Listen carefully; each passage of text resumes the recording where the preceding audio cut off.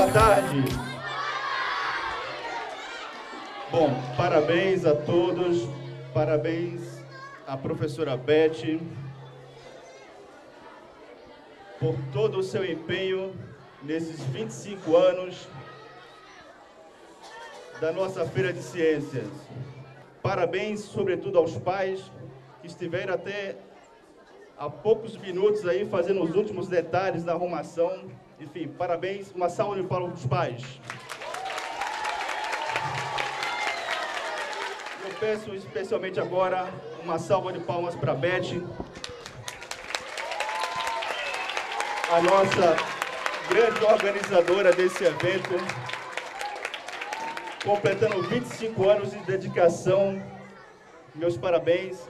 Eu vou pedir que esse aluno que participou da primeira feira de ciências entregue à professora Beth essa placa que nós fizemos em homenagem a ela. Ela que faz tantas surpresas, nós preparamos essa surpresa. Isso é só um pouquinho do que a tia Beth faz por nós, com tanta criatividade, com tanto entusiasmo.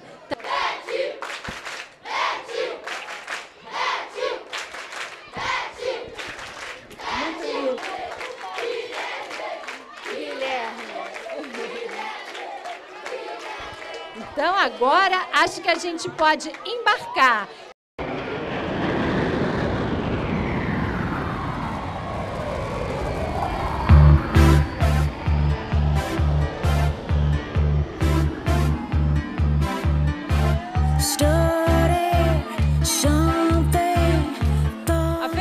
De Colégio de São Bento está comemorando 25 anos e a professora Beth Capdeville preparou muitas novidades para essa edição.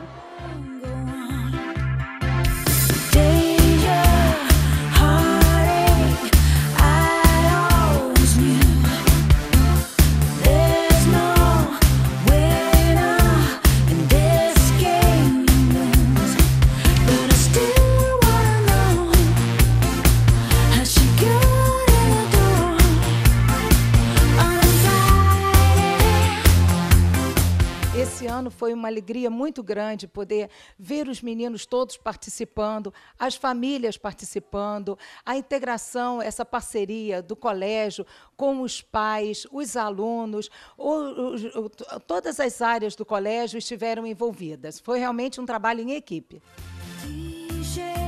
você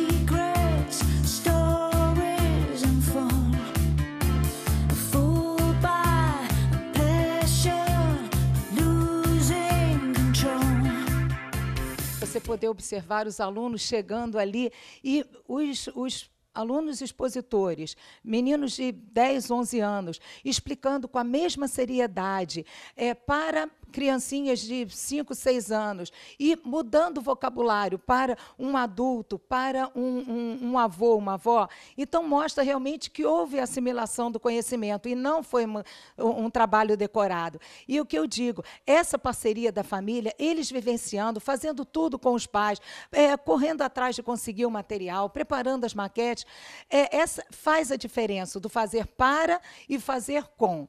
Como é que foi a experiência de montar todo esse trabalho lindo vocês fizeram com os filhos de vocês? A experiência única, né? De você participar junto com o teu filho de um aprendizado que eles têm, de energia, por exemplo, que eles tiveram, realmente, né? É muito bom, eu acho que é um incentivo para os pais estarem junto do colégio, junto das professoras, junto dos alunos, eles aprendem e a gente aprende muita coisa também. Participou da arrumação, tá com a camisa também do grupo? Vestimos a camisa, junto com as crianças, com os meninos, né? Como é que foi para a senhora participar de todo esse processo até chegar aqui no resultado final, que tá lindo, todo mundo adorando? Nós começamos assim conversando sobre o tema, aí fomos ao planetário, visitamos o Instituto Valongo, visitamos o observatório, né? E com tudo isso nós fomos colhendo as informações. O pai fez uma pesquisa grande né, pela internet junto com as crianças. Nós fomos conversando com eles, vendo o que, que interessava mais a eles e colocando aqui no estande. Para eles aí no final, eles mesmos combinaram o que, que eles iam falar, né? Para ser uma coisa assim bem, bem participativa deles. Eu quero saber o que, que vocês fizeram para ajudar aqui no estande do aquecimento global. Bom, foi um trabalho de equipe, né? Cada um ajudou um pouquinho. A gente ajudou os meninos na escolha do tema, na elaboração realmente do trabalho, do que, que a gente já está apresentando. E acho que a união e a força de equipe mesmo, acho que é o que fez tudo dar certo. Como que foi a participação de vocês aqui na Feira de Ciências desse ano?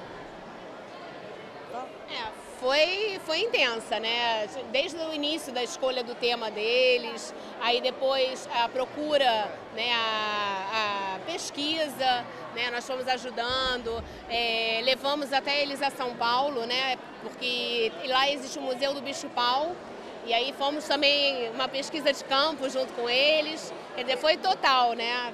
E eles participaram bastante, ajudamos com, com os materiais, fomos buscar também um bicho-pau vivo em Pedra de Guaratiba e ele teve o contato, o cuidado. Então houve todo um contexto da família toda junta trabalhando nesse tema.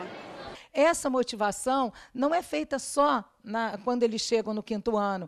Eles já vêm curtindo, eles já vêm observando, já vêm olhando, os alunos vão se motivando cada vez mais e sabem que quando chegar no quinto ano, eles vão estar fazendo a feira, né? essa feira maior, porque eles têm ali uma Semana da Ciência, que é justamente a sementinha que foi lançada. Né? Qual é a emoção de voltar aqui no São Bento, 25 anos depois da primeira Feira de Ciências? Ah, passou um filme na minha cabeça. Eu lembrei de coordenadoras como a dona Samaritana, minhas professoras, como a, professora Beth, ver os alunos que eu vivi há 25 anos atrás, quando eu fiz a primeira feira, que era pequenininha, foi fantástico, foi, valeu muito a pena. E qual foi o tema da sua Feira de Ciências? Eu fiz um trabalho sobre subsolo, sobre a penetração de... Eu não me lembro muito bem que são 25 anos, né? mas eu, eu me lembro bem da, da, da estrutura que a gente montou e do nervosismo que a gente sentiu. Mas detalhes, detalhes eu não sei, mas eu lembro que ela foi sobre subsolo. Assim, a preparação para a vida que eu tive no São Bento é, acho que é o diferencial na minha vida, que eu me deu me fez escrever bem, falar bem, é, não falar tão bem, né? não em frente às câmeras, falar bem, é, raciocínio lógico, isso aqui é fundamental. O maior investimento que meus pais fizeram foi, foi esse colégio. Quais recordações que a senhora tem da Feira de Ciências do seu tempo aqui no colégio? Sempre cada vez melhores, mais bonitas, porque essas professoras desse colégio valem ouro. E elas todas sempre colaboraram, os pais, as crianças, e tem grandes recordações. E a senhora vem todo ano ou voltou agora? Não, a emoção não me deixa. E eu trabalho muito. Então, às vezes, eu estou tão ocupada, mas eu acho que no fundo é não querer sofrer a saudade.